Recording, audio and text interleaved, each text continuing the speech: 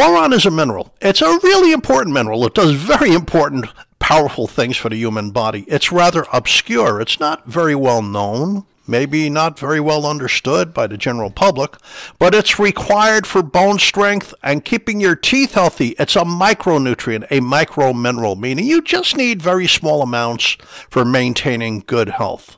So, welcome to our Boron is Needed for Strong Bones and Teeth episode. Hi, my name is Jerry Hickey. I'm a licensed pharmacist who also has studied nutrition. I'm over here at Invite Health. I'm also the scientific director, and I'd like to talk to you today about this obscure micronutrient boron. It's found in food and bone building supplements, and it's required to prevent bone loss. Please be sure to subscribe to our Invite Health podcast and please leave us a review. You can follow us on Facebook, Twitter, and Instagram at Invite Health. And all of the information on today's episode will be linked in the episode description. And you can visit invitehealth.com forward slash podcast for more information. So let's get going. Boron does many things for the human body. You need boron for wound healing, otherwise, wounds heal at a very slow rate. Uh, it possibly helps balance hormones, but we need more data on that. Uh, it has cancer preventing effects. I mean, this is pretty good data on some major cancers like colon cancer and pancreatic cancer. Uh, I, in fact, sometimes when you look at the data, it seems the two strongest natural cancer preventing nutrients are the mineral boron that you need in tiny amounts and vitamin B3. In fact, they interact. Boron interacts with vitamin B3, which is called niacin or niacinamide, to create a very important element that's an antioxidant, anti inflammatory agent in the human body that slows down aging, that is involved with creating energy called NAD. Boron is also needed to create SAMe. There's a super SAMe family of many enzymes. SAMe is needed for joint cartilage and joint health. SAMe is needed for liver health. And SAMe is needed to uh, balance your mood. Without SAMe, you can get very depressed. In fact, the supplement SAMe is often used for depression. Uh, some very healthy foods supply boron, but you'd have to eat a lot of them. Walnuts and almonds, and other tree nuts, beans and lentils and other legumes, broccoli and olives and avocados, carrots and pears and apples and oranges. It's a very important nutrient. A little bit, a milligram or two added to a bone supplement is a very good idea. It's plenty and it's very safe.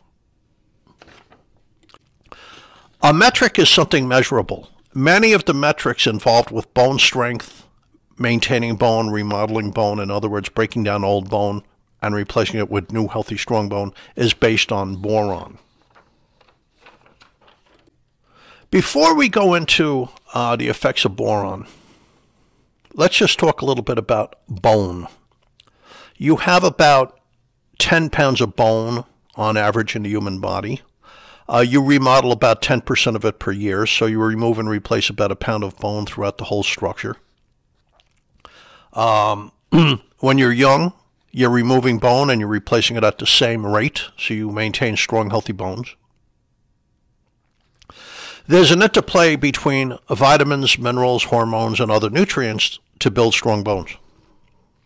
For instance, collagen Vitamin C, when you're young, interacts with protein and you create collagen. Collagen is a structural protein. About 35% of your body is made out of collagen, mostly type 1 collagen. And a large part of your bone structure is made out of collagen, about 35%. Collagen makes the framework of bone. It's called a superstructure, the matrix. 90% of the matrix of your bone is made out of collagen. Vitamin D and vitamin K and the mineral silica interact with collagen to make receptor sites for minerals like calcium and phosphorus.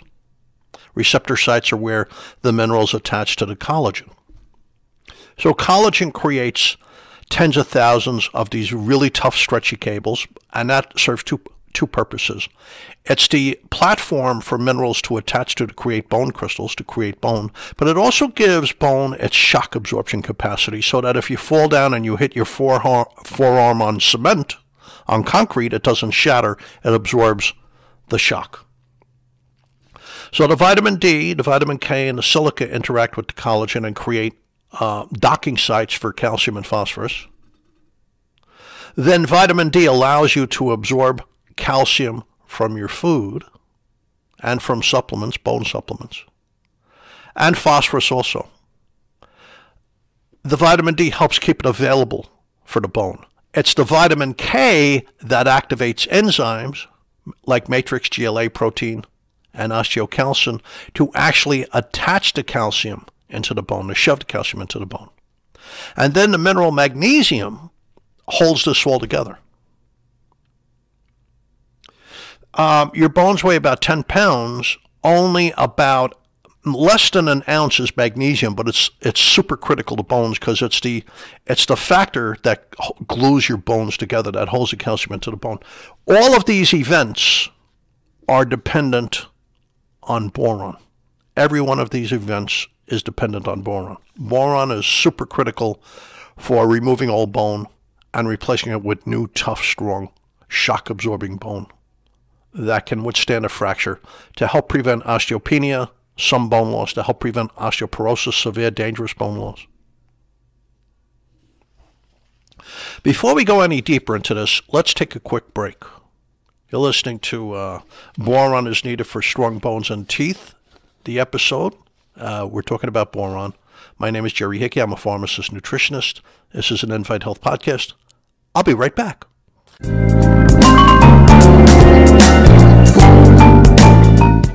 Podcast is brought to you by InviteHealth.com.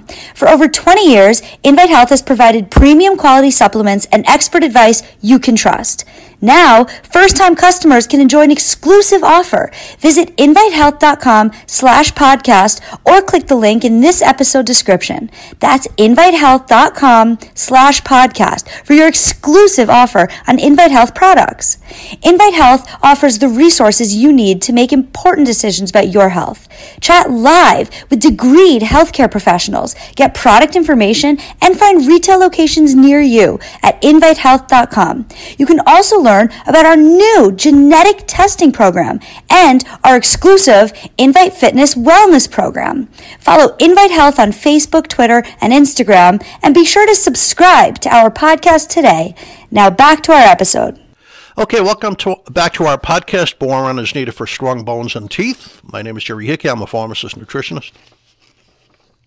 I'm the uh, uh, chief scientific officer over here at Invite Health which means we have a scientific department, which we do. We have nat- many naturopathic doctors. We have doctor nutritionists, you know, from medical school. We have pharmacist nutritionists.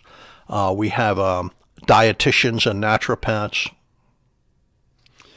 Um, and um, certified clinical nutritionists. And we all work together to share this info and to update our info and to keep abreast of all these um, points for good health when it comes to nutrition.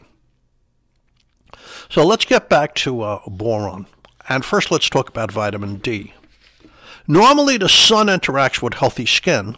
It interacts with the uh, cholesterol. The ultraviolet radiation from the sun uh, changes the cholesterol into a precursor, which will eventually become vitamin D. It's called 25 hydroxycholecalciferol. This goes to the liver and it's stored in the liver. And the liver releases it in a steady state manner and it goes to the kidneys and it's activated. There it becomes 125 dihydroxycholecalciferol. That's the vitamin D that's involved with the strength of your bones, the health of your teeth, heart health, metabolic health, immune health, and so on and so forth. So it has to be activated before it can help your bones. You need two minerals to activate it the mineral magnesium and the mineral boron. There's evidence indicates that boron is needed to activate vitamin D, which in turn helps regulate the absorption and utilization of important minerals such as calcium and phosphorus. These are major components of bone. In a review, not only is boron needed to activate vitamin D uh, and to absorb and utilize phosphorus and calcium, but boron also affects the absorption of min- uh, the mineral magnesium. So your entire skeleton weighs on average 10 pounds. These factors make it the calcium, the phosphorus, the magnesium, the vitamin D. Important components. Now, I mentioned at the start of this episode many of the uh, measurable influences on bone remodeling. Removing old bone and replacing it with new strong bone is dependent on boron. The military, when it does research, is very serious about research. There's no bones about it. That's a pun. They do great research, very non biased research. So, this is the Military Performance Division, United States Army Research Institute of Environmental Medicine. It was published in March 2019 in the journal Biological Trace Element Research. Boron is required for the survival of bone cells. You know, your bone cells have to last a certain amount of time. But this is really interesting. Boron connects the organic matrix of bone, which is mostly collagen, with osteoblasts. Now, that's unbelievable. 35% of your bone is made out of collagen. That's the superstructure of the bone. It's called the organic matrix. 90% of the organic matrix is directly made out of collagen. Boron interacts with the collagen and bone building cells called osteoblasts to attach minerals to collagen to actually make bone. This is a, a very important finding. The research found the following boron affects osteopontin. Now, you probably never heard of this before. Osteopontin is the link between the bone matrix, which, which is the framework of the bone, the foundation of bone, and minerals like calcium and phosphorus and magnesium. In other words, osteopontin strongly bonds calcium and phosphorus into the collagen protein to make bone. This happens in your bone and your teeth. Boron is also important for something called bone sialoprotein, another very important element in bone. Bone sialoprotein mixes with collagen protein to bond calcium into the bone. It's like the cement. 90% of the bone matrix is this type 1 collagen. The other 10% is bone sialoprotein, bone sialoprotein, and the interaction of collagen with bone building cells called osteoblasts and with the minerals to make bone is all dependent on boron. And there's another step, it's called osteocalcin. Osteocalcin is found within the bone building cells called osteoblasts. These cells bind calcium into the bone. So boron is needed for absorbing minerals into bone, and securing their bonding into the bone and making the bone strong and fracture resistant. In other words, it's one of the answers to help prevent bone loss uh, throughout your life, your lifetime, your lifespan. A study of postmenopausal women in their 50s shows that boron is strongly connected with osteocalcin. It improves osteocalcin activity for building and strengthening bone. In other words, the bone building cells, osteoblasts have osteocalcin within them, and the osteocalcin sucks the calcium out of the blood into the bone and secures it into the bone. But they also found that you need to consume boron on a daily basis to help maintain this function. It's in the Journal of Trace Elements and Medicine and Biology.